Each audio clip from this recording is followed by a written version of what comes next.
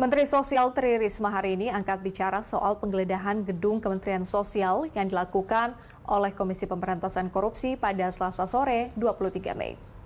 Dalam konferensi pers yang ya. digelar Rabu pagi, Risma mengaku tidak tahu-tahu atas dugaan korupsi bantuan sosial beras Kemensos. Risma mengatakan ya. dugaan korupsi terjadi pada September 2020 sebelum dirinya dilantik Presiden Joko Widodo sebagai Menteri Sosial pada Desember 2020.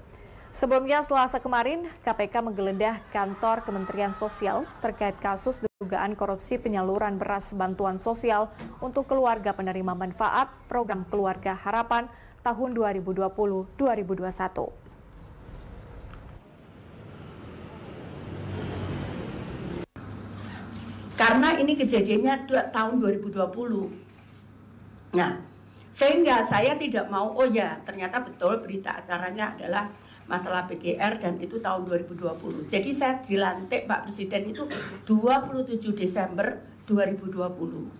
Kejadiannya ini sekitar bulan eh, September ya. September dan tadi saya masih dilengkapi oleh BPKP. Tadi saya ke BPKP tapi untuk hal yang lain saya konsultasi, saya ke sana saya masih